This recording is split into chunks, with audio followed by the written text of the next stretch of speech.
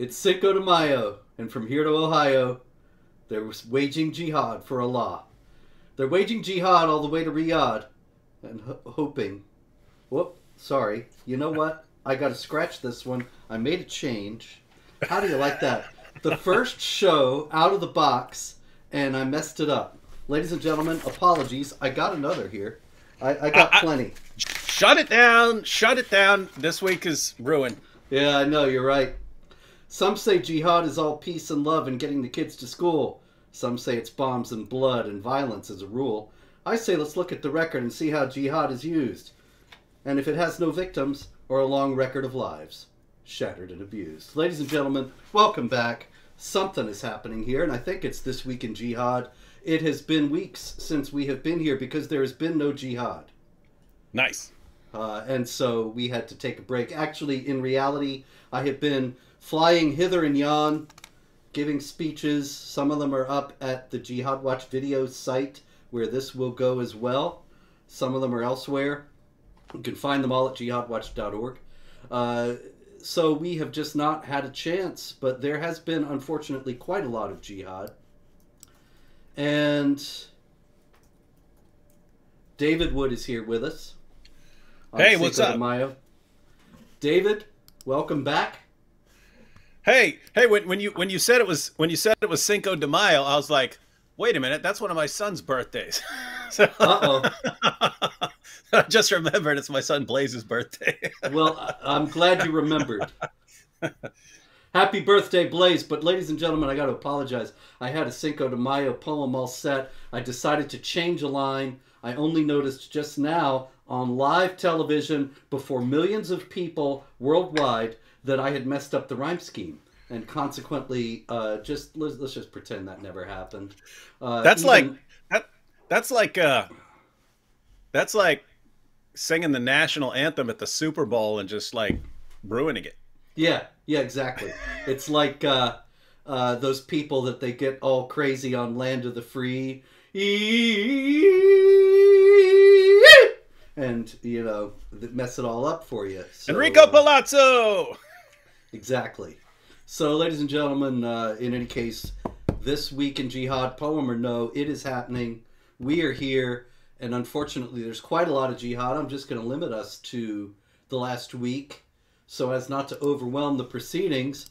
But, David, I thought that the big story of the week was your friend and mine, Andrew Tate. Oh, Andrew Tate. in? Oh my goodness. Yeah, here, I got this for you here, David. Hold What on. a what a tactical genius. There is. Tell you, can you tell us what that is, David? You see that, right? That is a Karanagami castle. Karanagami is the uh, Japanese fusion art of making uh, structures. Uh, flowers can be flowers, can be animals, pigs, dogs, whatever, uh, or in this case, a castle out of pages of the Quran. It's a beautiful thing. And it's great art. and yeah and uh it- this was like the weirdest thing ever uh andrew tate is apparently stuck in like 1989 or something like that when when when was everyone scared of of jihadis because of the salman rushdie thing that was like late 80s right Yeah. so late late 80s everyone was terrified and then uh, after the the Danish cartoon controversy, people were scared of uh, posting that. Like media outlets wouldn't post the the cartoons, even in stories about them. Book publishers, even in books Mm. that were about the cartoon controversy, would not post the the publish the the Muhammad cartoons because everyone was scared. Everyone was backing down. Uh, South Park. Uh, it wasn't. It wasn't. It wasn't the creators. Uh, uh, Trey Parker and Matt Stone who backed down, but it was the network that insisted on censoring everything in the Muhammad episode. So people really were scared at times in the 80s and the 90s and the in the 2000s and so on. Um, but we're, we're not in that time anymore. We're not in that time. That that that ship has sailed. Now people draw Muhammad regularly. People desecrate the Quran regularly, and so on. And uh, Andrew Tate is apparently not aware of this. Um, even before he converted to Islam, he was telling people uh, what he respects about Islam. And one of the things he said he respects about Islam is he said if a if you're walking down a street of London with a shirt that says Jesus was gay on it, he said no one's going to care. He says, but if you walk down a, down the street uh, with a shirt that says Muhammad was gay, you'd be dead before you hit the end of the block. And he says, and that's why I respect them. That's why I respect them, right? Like, so they'll brutally murder you over making fun of, of Muhammad. That's uh, like that. Uh, there's a hadith like that where uh, the guy says, "Wow, if your religion will make you kill people." Then I respect that. I'll join up. Do you remember that? I, I only dimly that, that, remember yeah. it right now. That's in that's in Ibn Ishaq. That's the uh, those were the two brothers, Muayisa and yeah, Huayisa. Yeah, yeah, and, yeah, and they're yeah. So one of them converts. One of them converts to Islam, and then instantly goes out on a killing spree. Uh, and and and kill and kills a, a Jew who was a family who was a, a, a friend of the family, and his brother says, "What are you doing? What are you doing? Like, part of our wealth is based on this guy. He's a friend of the family. And the guy's like, if the one who ordered me to kill him told me to kill you, I'd kill you too.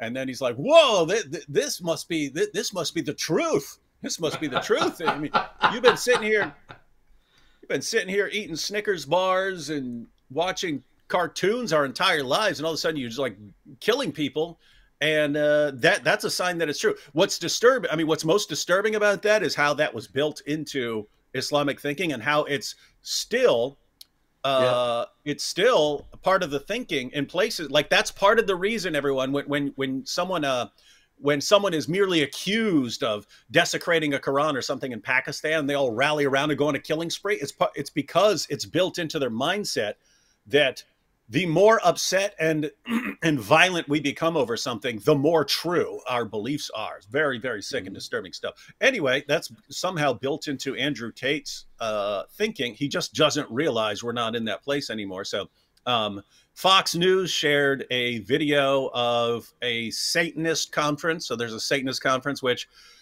uh, the Muslim, the Muslims who are responding are like, "You see, this is the death of Christianity. If you don't rise up and get violent over this, it's like we wouldn't have cared even slightly what some some Satanists at a Satanist conference are doing. We just don't care.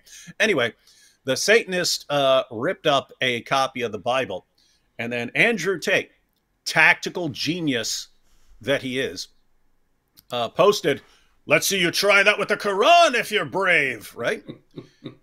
and his thinking is, ha ha ha, people will never do this to the Quran because everyone's scared. He doesn't realize yet there was a time when people were scared. That ain't this time anymore.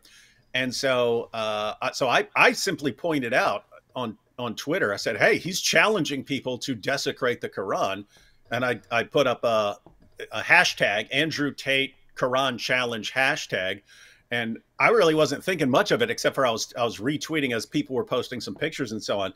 But I checked I went on Twitter the next day and it was like it was like an endless array of people posting pictures of uh, the Quran in various toilet situations in or on the floor around it. Um, dogs, like dogs standing on the Quran. So Quran with animals, uh, various people burning the Quran, uh, shredding the Quran. Uh, just a lot of a lot of stuff towards the crowd, and, and it's amazing because it was all because of Andrew Tate running his stupid mouth, and uh, and eventually he he took that tweet down. I saw uh, I saw I think early this morning that he had taken taken the tweet down, so it caught up with him. He's not he's no longer top G. Uh, if you get if you get come on if you get if you get schooled by David Wood, you have to take down your tweet. you can't you can't call yourself can't call yourself top G anymore. Well, you know, David, it's really good to see and I think it's important to explain to the millions out here viewing us today that uh, it is important. It's not a gratuitous insult, but mm no. it has to do with standing up to the violent intimidation that Andrew Tate was implying. What he was saying was, when he says, now try that with the Quran, he's saying, if you do that to the Quran, you will be brutalized, you could even be killed. And so it goes back to Molly Norris, the cartoonist in Seattle, who uh, now, I think about 17 years ago, said in the time of the Muhammad cartoon controversy at that time, said that uh, there should be everybody draw Muhammad Day. Because if the whole world is drawing Muhammad, they can't kill everybody, and mm-hmm. it will stop all this bullying. And instead, she had to go into hiding. She's never been heard from since. She's apparently in the witness protection program, changed her identity. Uh, you may be Molly Norris for all I know, David, but in any case, uh, we don't know where she is. but it seems like what she had hoped for in terms of a triumph of reason is actually coming true now in what is happening with uh, Andrew Tate, in the sense that people are saying we're not going to sit and cower because you tell us you're going to kill us. We're going to stand up and protect the freedom of speech, the freedom of expression, which is fundamental to any free society. Yeah, and you nailed it with like lots of people not understanding what the point is because they'll just they'll just see someone posting a picture of them desecrating the Quran and so mm-hmm. on, and they just don't get it and they don't understand the significance of doing something like this. So let, us be clear, ladies and gentlemen, uh, you don't see us doing this with with other with other people's books and so on. You know, I don't believe in Mormonism. I think there's all sorts of weird, silly stuff in Mormonism and so on. You don't see me messing around with the Book of Mormon. If Mormons tomorrow said, you know what, we're sick of this, uh, you know, book Book of Mormon musical on Broadway. We're sick of everyone making fun of us. Uh, no more Mr. Nice Mormons. We're going on a killing spree. The next person that that that in, insults our book, all of a sudden, I would say, okay, we got to insult. We got to insult the book now. We have to because you guys are because if you don't then you're encouraging more violence. You can't let people think, oh, when we say change your behavior or we'll slaughter you, you can't let that slide because that sends a message oh this is how we get what we want this is how we get to control other people and that's what andrew tate was doing but it's it, he takes it a step further because he actually is using it as an argument with younger with his younger you know stupid teenager followers uh, it's basically you see Islam is strong. Islam Islam will last. Other things don't kill and slaughter over criticism and so on. So they're weak. They're going to fall apart. Therefore, we all need to uh, we all need to Islamize. We all need to we all need to convert to Islam because it's the only thing that's going to last. He's using that as an argument. So it's actually.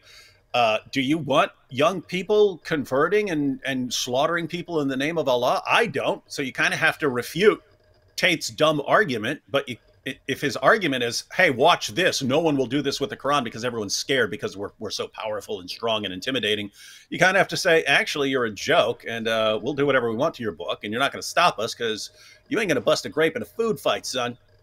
And uh, and then he and then he takes it down and looks like a looks like a total coward. So that's what you. But that's what you got to do. And yeah, that's so it. it's it's not a it's not a situation where we wake up and say, "Here we we have to do this," or "This is this is our standard method of criticism." This is how we respond to people who are calling, saying, "Don't do this, or we'll get violent." Yeah, this is very important uh, because I think a lot of people misunderstand this point, and I have had several, more than one person, confront me over the years and say, uh, you have to do this with other religions. If you're going to uh, draw Muhammad, then you have to mock Christianity, you have to mock Hinduism, you have to mock Judaism. You have to do it, or you are not consistent. I and I think you are totally missing the point here. This is all about just stopping these people from thinking that they can get whatever they want out of us by threatening to kill us. And insofar as people in other religions are not threatening to kill us, then there's just no reason to have anything to do with their religious symbols.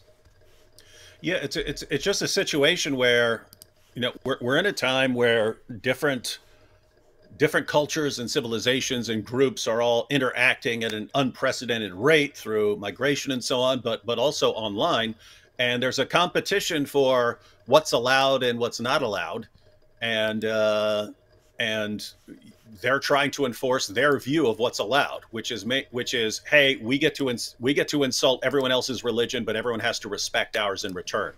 That's the rule in Muslim countries. That's what they want the rule to be everywhere, and you're going to have to kill me first because I'm there is no situation where I'm saying, oh, okay, let's adopt the way think. Let, hey, it worked in Pakistan. Why can't it work for us? No, you don't want that. You don't want that here. And so you, you just you got to take your stand. You got to take your stand and say, hey guys, uh, we can get along.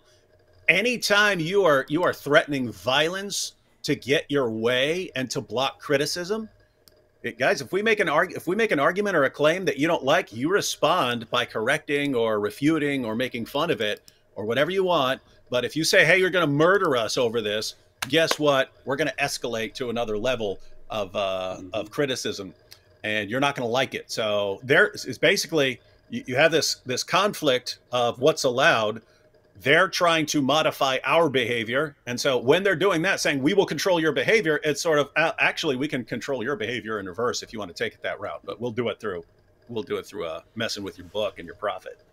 And here's precisely an example of what you're talking about, David. Story out of Bangladesh. This is the Bhagwan Shiva Murti, or an idol of uh, a Hindu god in an ashram in Bangladesh, and it was desecrated.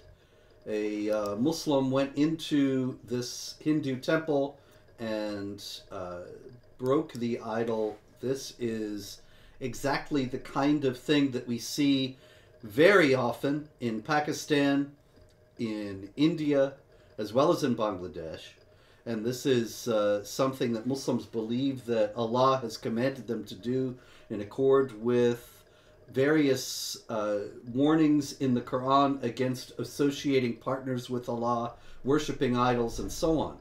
But here again, you have the Muslims demanding respect for their own religion while showing disrespect and proudly showing disrespect for the symbols of other religions.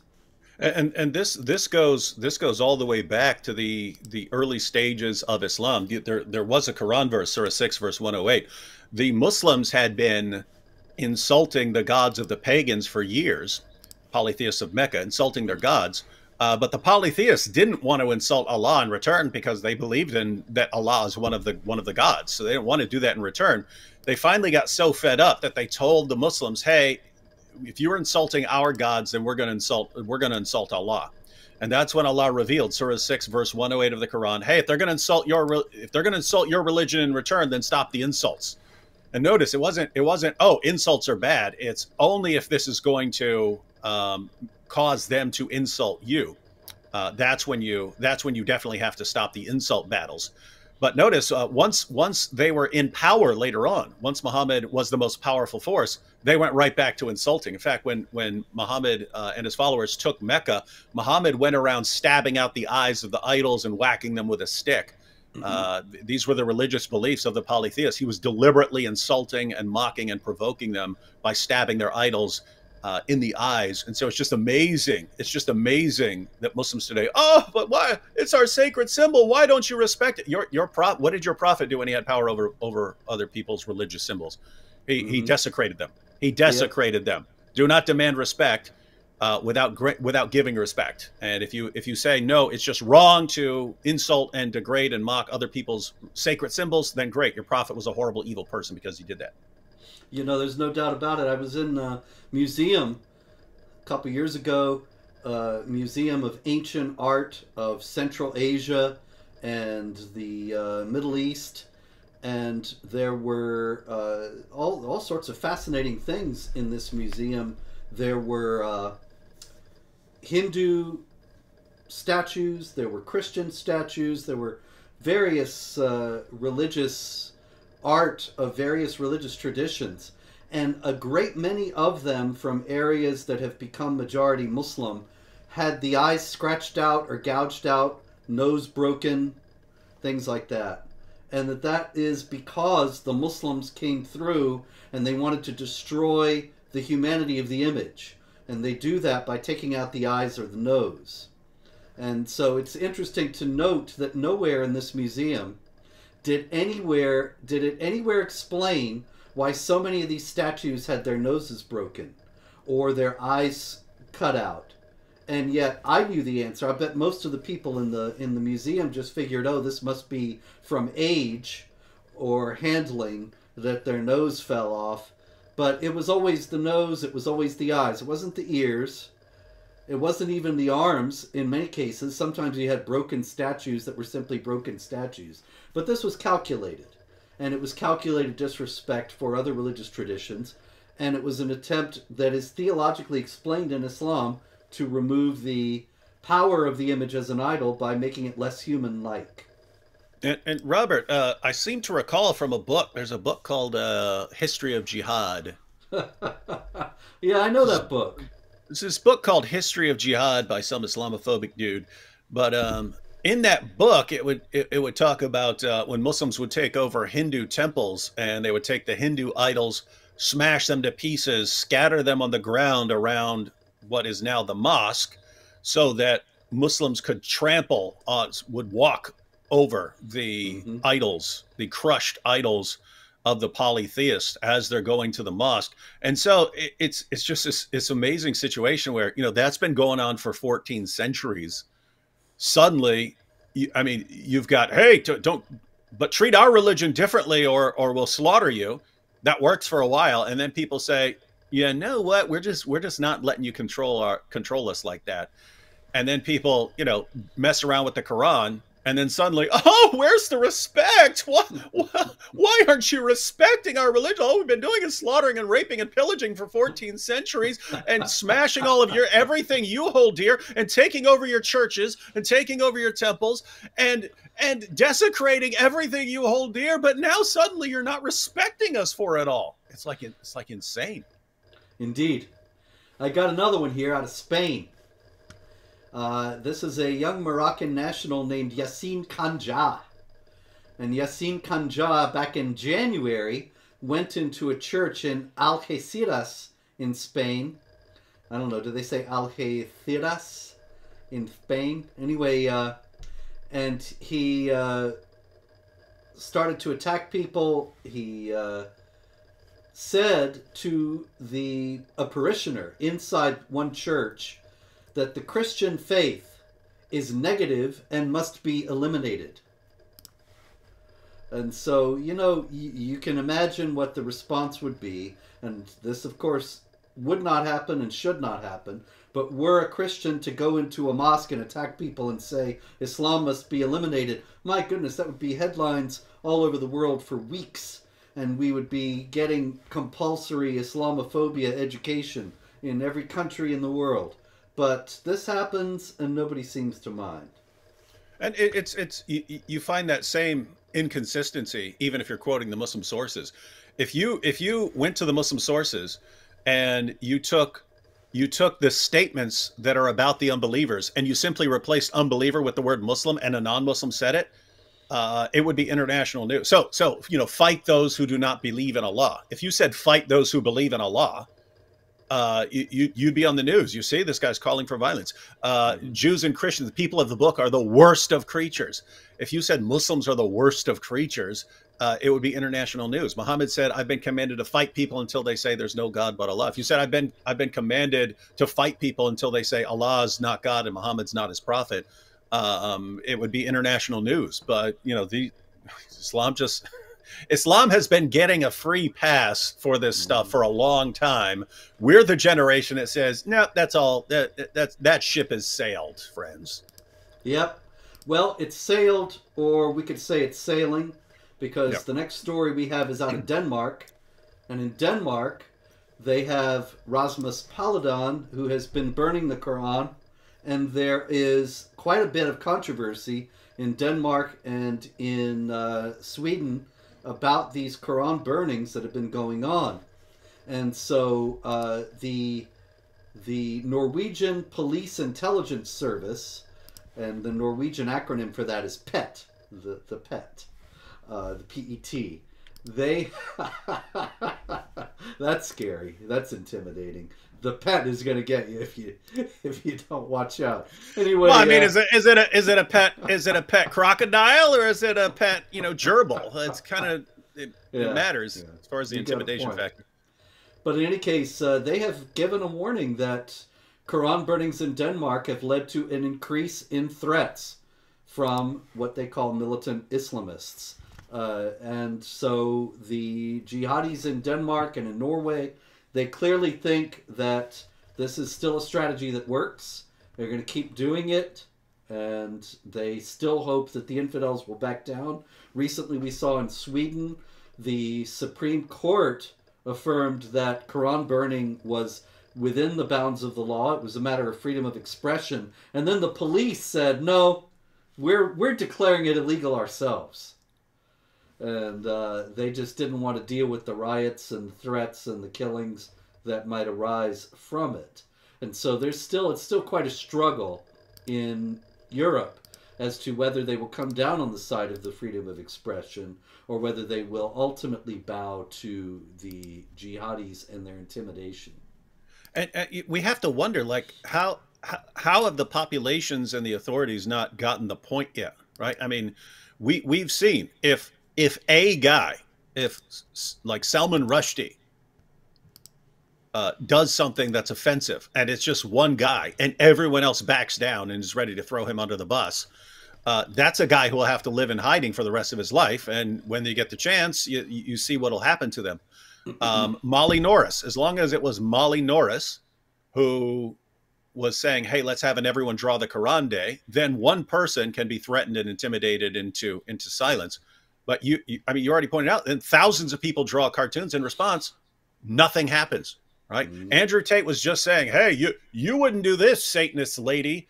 If that Satanist lady had responded by ripping up a copy of the Quran, she'd have been threatened or or killed. Uh, but she would have had to go. She would have had to go into hiding.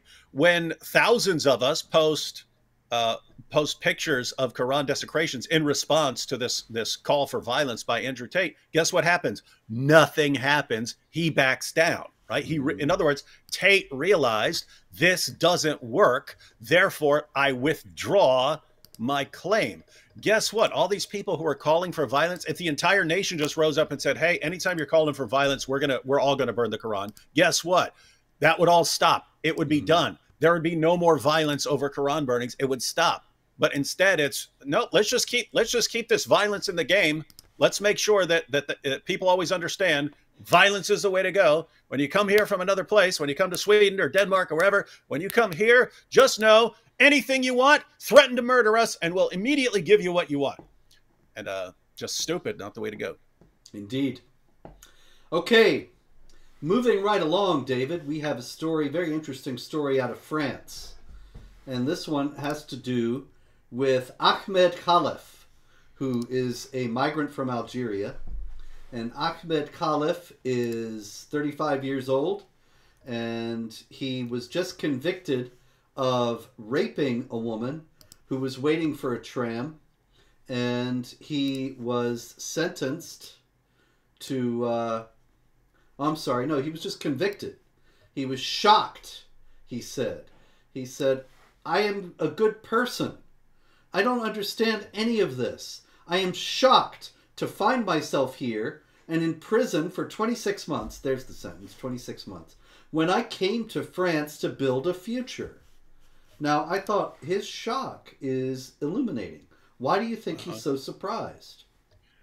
Um, yeah, I don't know the details here, but I've seen similar stories of these rapes happening because we're, we're, familiar with the grooming and rape gangs in the UK, but those th- same things were happening in Scandinavia. Those same things were happening in Australia back in the day, and so on.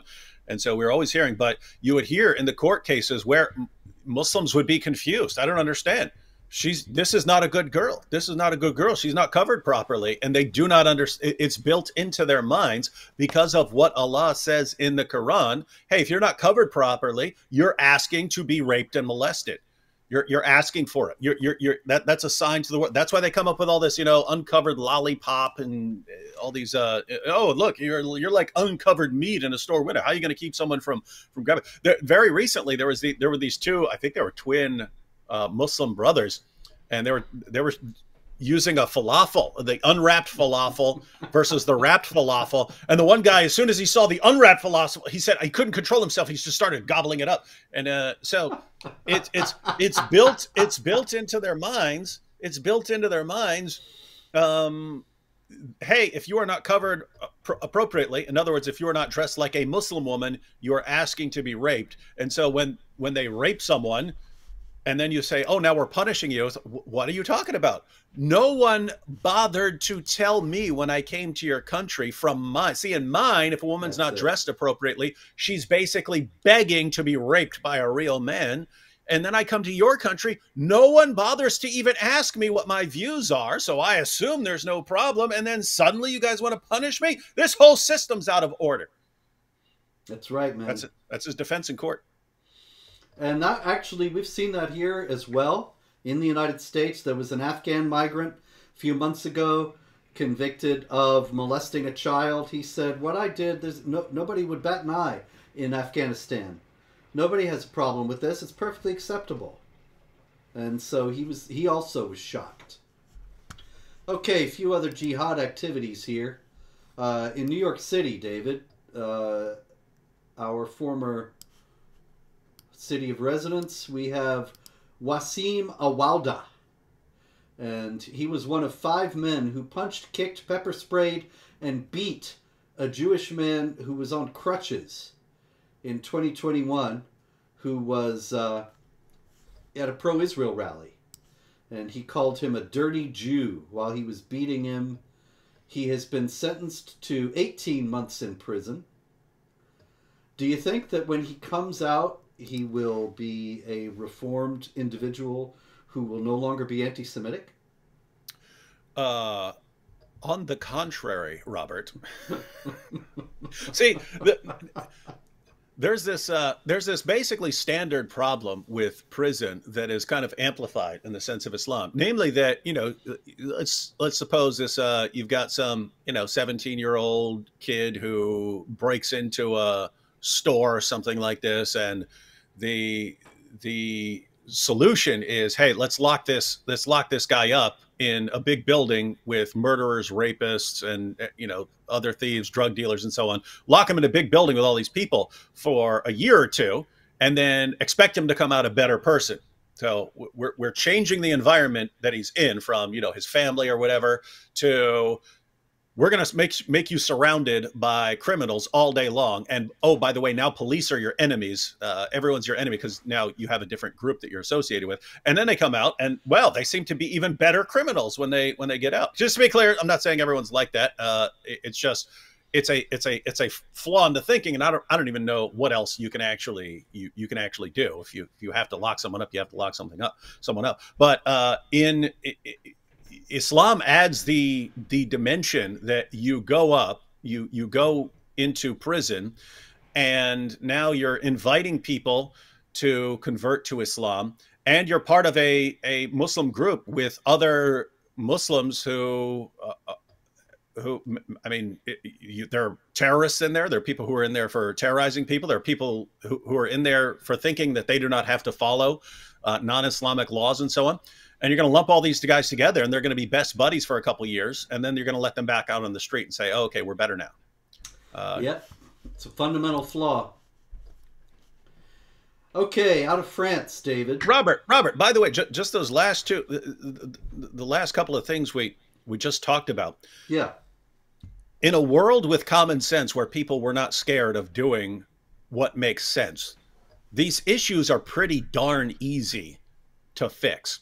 Someone if someone is if someone is coming to the UK or France or somewhere from Afghanistan or Pakistan or something very simple. You're bringing them in hook them up to a lie detector and ask them some certain some easy questions like if you got control over a an 11 or 12 year old non-muslim girl would you think it's okay for you know to have sex with her to get all your friends involved to groom them pimp them? Would you think that's okay?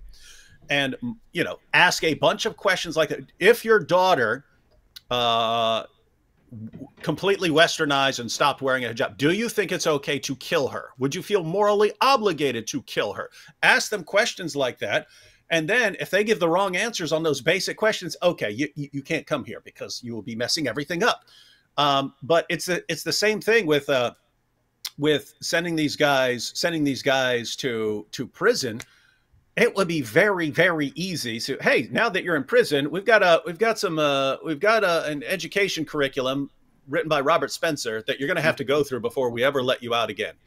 And it's not the standard oh you know islam teaches if anyone kills a man it's as if he's killed all mankind it would actually be like shattering the foundations of their beliefs uh, but you can't do that you, you, can't do that. Instead, we're going to lock you up. We're going to encourage you to be a super devout Muslim mm-hmm. and surround you with uh, with criminals, and uh, that way you can come out and be super effective in slaughtering in the name of Allah. And can't the Muslim prisoners they can gather together for prayer, study Quran together? So it only reinforces the beliefs that got them there to start with. Mm-hmm.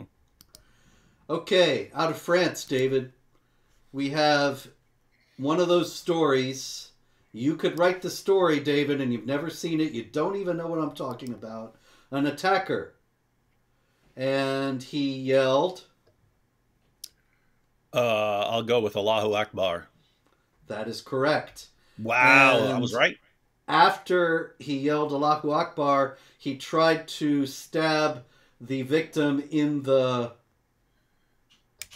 Um, yeah, I'll go with neck.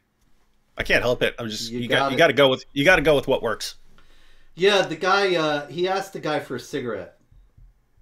And the guy said, no, I don't have any cigarettes. That's the story. and then he yelled Allahu Akbar and tried to slit his throat. So yeah, I guess you should always carry cigarettes. Yeah, or, or you'll you'll you'll be slaughtered in the name of Allah. Hey, that should be like a Surgeon General's warning on the side of the pack. Right? yeah, Surgeon General's counter warning. Cigarettes will give you lung cancer, but if you're carrying one, you may avoid getting your throat slit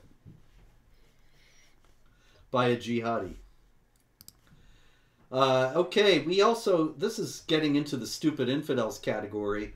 We have a Syrian national, a Muslim migrant in Germany, and he stabbed four people in a gym not long ago.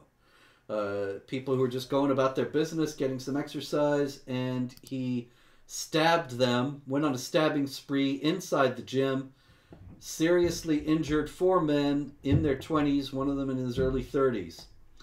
And as it happens, it came out after that that he had previously, on Easter Sunday, murdered a man. And so Easter Sunday was what? Early April, right? Uh, in, in Germany, anyway. April 9th, I think, or 7th. I, I, uh, Yeah, I, I believe it was the exactly. I believe it was the ninth. So this is May 5th, Cinco de Mayo, and he stabbed the four men in the gym sometime before that. Actually, this story dates from April 27th in uh, a paper from over there. So you got to wonder why is it that he was able to so easily melt away and not be caught after he murdered this man several in East on Easter Sunday and then be casually going to a gym several weeks later and stabbing more people. And there's several reasons for this. No, David, the uh, in the first place, the Muslim communities, and I got another story like that where uh, the police went into a mosque to try to arrest a guy. Let's see, what country was that in? I'm looking for it. Uh, yeah, it was also in Germany, as a matter of fact police tried to arrest a another man who stabbed another Muslim who stabbed people and then fled into the mosque, and the people in the mosque were fighting the police. And also the fact that the police themselves are so afraid of Islamophobia, and it creates a perfect storm where these people can get away with things. Reminds me also of uh, Tamerlan Tsarnaev one of the Boston Marathon bombers, the chief Boston Marathon bomber. And after uh, hi- the Boston Marathon bombing, it came out that several years before, actually on the 10th anniversary of 9 11, the Boston Marathon bombing was in mid April 2013, I believe it was. And then in 2011, on the 10th anniversary of 9 11, September 11th, 2011, it turned out that he had killed his friend who was Jewish. Uh, caught him by surprise because the guy thought he was his friend and uh, brutally murdered him and was not caught, not even suspected. And only after the Boston Marathon bombing was it put together that he had also done this. Well, you can't you can't even list him as a suspect because that would be Islamophobic. Yes, there's altogether too much hesitancy and delicacy in that regard. And that means that a lot of uh, people who commit these crimes get away with them. And then when they are caught, we have a story like this one, David, out of Denmark. And out of Denmark, we have a Somali Muslim migrant into Denmark, and he stabbed a 53 year old man. Where did he stab him? Do you think, David? Uh, I'll, I'll go with I'll go with neck again. Once again, somehow you're always able to guess these, and he was uh, sentenced to six years in prison, after which he will be deported. However, the deportation is only for 12 years. That is, after six years in prison, which will probably end up being about three, and after the deportation, which is uh, supposed to be for 12 years, but will probably also be shorter, he can return to Denmark. Do you think that he will return to Denmark and become a loyal, stable, productive citizen of the secular Danish state? Uh, I mean, I think he'll return to Denmark. I don't know about all that loyal loyalty stuff. Yes, indeed. In, in, fact, I'm, I'm, not entirely. I, am not. I'm not even convinced that he'll actually be deported. He'll he'll he'll appeal, and uh, and then they'll find that he's in danger, and his and his if he goes back somewhere, and and then oh okay, their hearts will melt, and they'll say okay, you can stay and do a bunch more more stuff. Yeah, because uh, the uh, Biden administration has sent troops to Somalia, and uh, it's a situation there that the administration considers warrants some kind of military presence on the part of America, uh, American troops, and consequently, you can't send this poor land back into a war zone. We got another story like that out of Spain. And in Spain, a man from Mauritania, another Muslim migrant, he uh, was in a let's see let me get the details here. Yeah he was shoplifting. He was stealing 400 euros which is about 450 500 dollars worth of stuff out of a store and he was caught. And the bag broke and all this stuff fell out that he had been stealing. And he grabbed a bottle that was in the bag and broke it and uh, assaulted one of the store employees with it. Now, the story says that he had actually had been arrested previously over 30 times. And I think, okay, this here you have this guy from Mauritania, and he's in Spain, and he's been arrested over 30 times, and now he uh, assaults somebody in a store with a bottle after shoplifting. I just got to wonder what is the benefit that Spain is getting from the presence of this individual? And what could they do rather than continue to just arrest him and then set him free and he commits more crimes? Um, yeah, it, it is wild when like if you if someone's been arrested 20 or 30 times it's you're obviously dealing with a career criminal right? That that's someone that's someone who lives by crime. He's not he's not trying to get a steady job and be a productive member of society. This is someone who lives uh, and functions by crime. And it's like okay you had a theory when you were bringing this person in from another country that i mean you would assume that they want people who are going to be some sort of productive member of society. And so yeah, you okay? We got we brought someone in, and all he wants to do is commit crime. Yeah, I mean, you'd think, okay, sorry about that, bad pick. We we made a bad pick, but nope, it's not. It's uh. The whole mass migration enterprise was sold to Europeans on the basis of the lower birth rate in Europe and the idea that the migrants would come in and do the work that the uh, aging native population was no longer able to cover. And uh, while whatever the merits of that argument may be, when you have a guy who's not working but living from crime to crime, he's clearly not benefiting the society, and it's nothing like what the migrant operation was sold to the people to do. He shouldn't be there. But in Norway, David, it's going in the opposite direction. Are you surprised? What's going on in Norway, Robert? Well, David, I'm glad you asked. In Norway, the uh, there is a group called the Equality, Inclusion, and Networks. I'm not sure, maybe that's mistranslated. But in any case, uh, he's a former board member of the Islamic Council of Norway, Yasser Ahmed. And he found out that Ukrainian refugees from the war in Ukraine are given free public transportation. And so Yasser Ahmed demanded and received free public transportation for Muslim migrants in Norway. And so now, if you are a Muslim migrant to Norway, you can get on any bus or subway or train, and there is no problem, there is no cost. Now, there nice. are some people in Norway who are not happy about that, and they say, look, it's not an equivalent situation.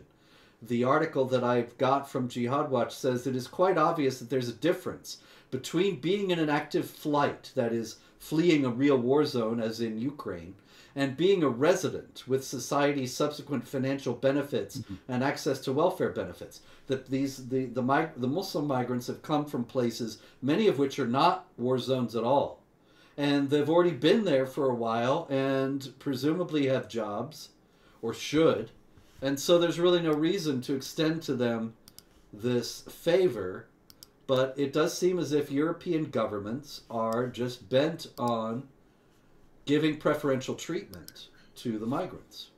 Yeah, it, it is. Uh, I mean, those are completely different situations. I mean, if, if, if you bring in some people from the Ukraine because there's a war going on there, you're basically you're, you're, you're basically giving them a safe place temporarily with the goal of sending them back once the war is over. So it's just okay. These these are not these guys are not here to stay. We're just helping them stay alive while there's a war going on. Then they're going to go home. Uh, and so, yeah, it kind of makes sense to, okay, you're not here. You're not here long term. You're here until this stops. So let's help you out for a little while. But yeah, you got the, you know, you've got people coming in and they have no intention of ever going back to where they came from, uh, and and no intention of ever adapting and giving up all the benefits you're showering on them. In fact, those benefits are another incentive to get to these countries if you can, right? Like, hey, did you know? Uh, hey, if we can get to this this this country over here, we can commit all the crimes we want, we can rape all the girls we want, uh, and they'll pay. They'll they'll give us free transportation no matter what we do, and uh, put us up in hotel. And it's like, my goodness, it's mm-hmm. like it's like you're begging, please, by all means, come here, come, mm-hmm. come, come over here. Yeah. yeah. You know, I don't think it's any coincidence, David, that the countries in Europe with the most generous welfare systems, Germany, France, UK, they have the biggest migrant problem right now. People are clamoring to get in, and they do not have the will to get them out or to stop them from coming. And it's not a it's not a coincidence. The the, the Quran says the infidels pay the jizya with willing submission to the Muslims in lieu of the jizya. You can you get these welfare benefits, then that's just what the infidels ought to be doing, supporting the Muslims. And so Muslims go these to these countries. And and this goes back to when we were talking about just basic common sense. Like if you're bringing in someone from Afghanistan or Pakistan, might want to ask some questions about what this person believes about mm-hmm. uh, being around non-Muslim uh, girls and so on uh, you you could ask some very simple questions, but I mean, just imagine a situation where okay, you're a migrant coming from a different country and you want to come to you know this European country. Totally fine, but uh, you're coming here. You're going to work. Nothing's going to be free. Uh, we, we, can help you, you know, get get settled in if we need to or something like that. But other than that, you're going to be working and don't get in, don't get in trouble. Stay out of trouble. Stay out of trouble. Work hard pay your dues like everyone else. We'll treat you like everyone else here. Uh, those are the rules.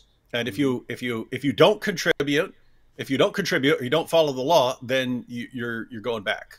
Uh, so I mean that it, it would seem it, that would seem like pretty commonsensical, but nope, just not. Common sense never plays a role in these stories, David.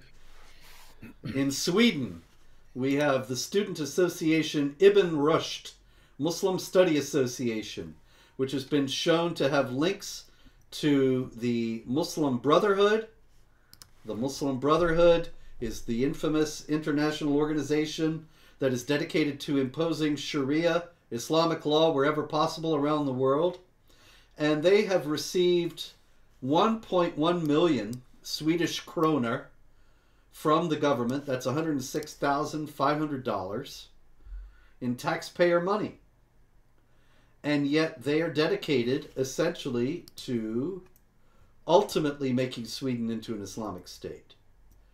Uh, there are many people, including, of course, the Sweden Democrats, who are quite upset about this, and yet there are others who believe that it will aid in the assimilation and accommodation of Muslims in the country, the new Swedes. Oh, it'll it'll uh, it'll aid some assimilation, just not in the direction they're they're thinking. Here's a new Swede. Uh, the gentleman on the right in the picture is Mohammed Noor, and Mohammed Noor is the leader of a leftist party, and I know I'm going to say this wrong. It's called Tensta Rinkeby Spanga. Tensta Rinkeby Spanga. Tensta Rinkeby Spanga. That's how they taught. Yes. And so, yeah, when I was up there, I remember everybody, every last person sounded just like that. Anyway, Mohammed Noor has demanded, you know, we had the end of Ramadan since our last show, David, and so we missed Eid al-Fitr, and that is what he wants.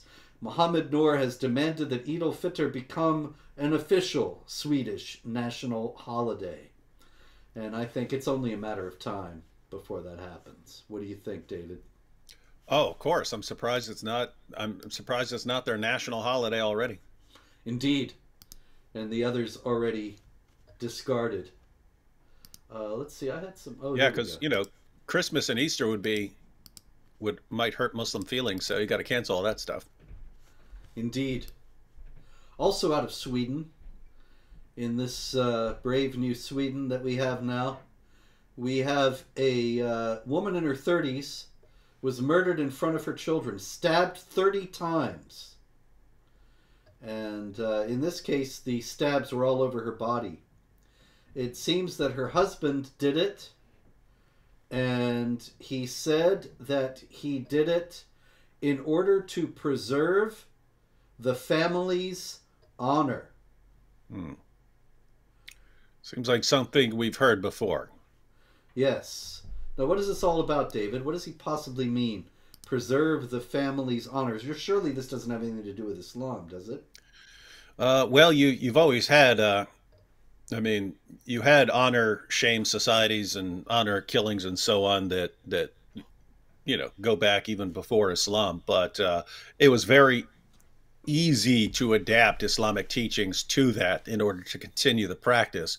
So you have uh, you have uh, commands like Surah 4, verse 65 in the Quran, which says that uh, if you don't submit fully to all of Muhammad's decisions and have no resistance against anything that Muhammad says, uh, you're not a real Muslim. You're, you're only a real Muslim if you completely submit to all of Muhammad's teachings.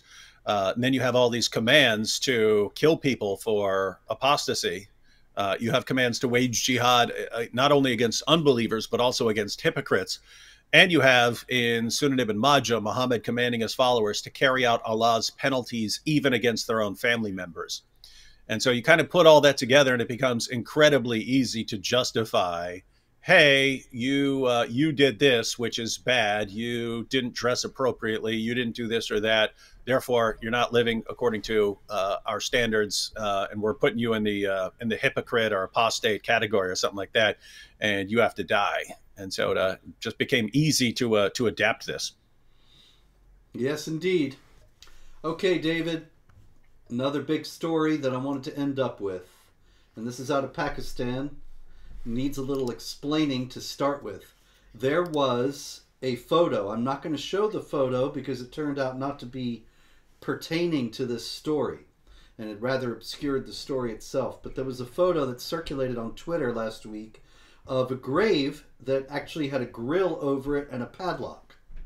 And this was represented as being a grave in Pakistan that was padlocked because it would prevent necrophilia and the photo went around, and then uh, some fact checkers, and I had no reason to believe that the fact checkers are trustworthy. They usually aren't, but I also don't have any evidence to the contrary. In any case, they claim that the photo was not about necrophilia at all, it wasn't even in Pakistan, but was in India on a wealthy individual's grave, and apparently there's something he's buried with, so something valuable. So that's what the, the padlock is for.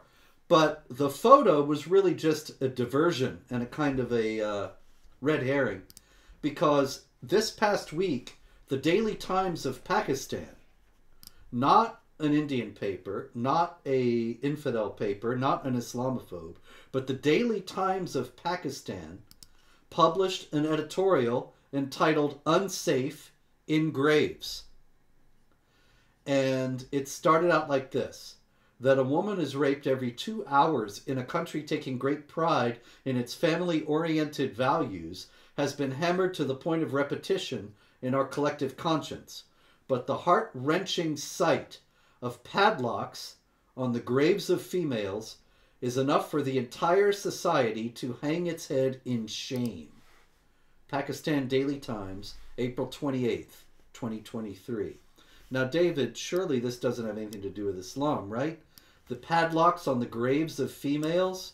That must be some bizarre cultural hangover and nothing to do with the religion of peace, correct? I don't know. You got some creepy stuff in those sources, Robert. Yes, you do. Do you want to tell us, or you? I, I have it. I have them here. You, I mean, you, you have various things. You, you have. Yes, go ahead. There was a there's a story in Kanz al-Ummal where uh, uh who yeah, was it? The, Ali. Yeah, Ali's. Right who was it? Ali's mom who died yeah. or something like this, and he was all broken up about it because she was an unbeliever, and Muhammad said, "Well, you know, I'll, I'll go down and sleep with her," and it's something like uh, so Muhammad climbs down into her grave and sleeps with her. And I've I've heard I can't I can't verify this. Is just what I've heard. I've heard that the word for sleep with someone that's used is like our word, and that it could refer to just in theory it could be just sleeping. Uh, but it's also like ours, and sleeping with someone can refer to can refer to sex. But uh, what, whatever the case may be, Muhammad crawls down into the grave of a dead woman and says that you know this this is going to make her one of his wives in paradise or something like that. Uh, but there are some creepy uh, creepy implications about whether he actually consummated that uh, relationship with a dead woman. Yeah, and whether uh, uh, one thing that gives us some indication that he may have is the fact that there are teachings that are like that are that that suggest this. There's the passage from Mishkat Masabih, uh, where Anas says, "I was present when the daughter of Allah's messenger was being buried. He was sitting beside the grave, and I saw his eyes shedding tears." He then asked, Is there any of you who did not have sexual intercourse last night? Abu Talha replied that he had not. So he, that is Muhammad, told him to go down into her grave, and he did so. Now, here again, you don't have the explicit necrophilia reference, but it's made stronger by the question. Mm-hmm. Of course, Islamic apologists will say, no, he just means is somebody ritually pure here. And so let's go on. Then you have a Sharia manual published in Egypt in 1983, Hawashi ash-Sharwani, uh, by Abdul Hamid Ash-Sharwani, and he says there is no need to rewash a dead woman if her husband has sex with her after she dies, and there's no punishment for anyone who has sex with a dead woman. Now that's likely to be a teaching that comes from the understanding that Muhammad did do this. Otherwise, these Islamic teachers would not be saying this. And uh, another one, Muhammad al-Shirbini, there's no restriction against sex with a dead woman or an animal. Yeah, it's uh if you if you bring that up now, you'll get oh no, Islam doesn't teach this at all. Give him another five years, and Daniel Haqiqatjou will be defending it in debate. yeah, I heard he was defending child marriage. So yeah, you're yeah, quite so right. yeah, it's it's it's basically everything that we were saying about Islam 15 years ago, uh, and they called us liars for, is now being is now being actively promoted and bragged about. And so, if we point out something like this, then yeah, give them five years, and it'll be Daniel Haqiqatjou versus inspiring philosophy. Is it okay to uh, to have sex with a corpse? Oh my goodness, it boggles the mind, David. It's just incredible. Pretty, pretty creepy. Yes, and it does actually uh, once again give the impression of a demonic origin to all this, as uh, Jesus says in the Gospel of John that there was a time that men will think that men will kill you and think that they're offering service to God. And of course, the passage in Isaiah about woe to those who call good evil and evil good. Islam seems to be in so many ways the embodiment of that. And so we have come to the end of another scintillating hour of This Week in Jihad. Uh, we can hope that there will be no jihad next week. Might even be a half week if we get a chance, if we can work it back into Wednesday. We'll have uh, maybe a short show, but there's likely to be some jihad till then. So keep your head down, keep alert, and may God bless you all.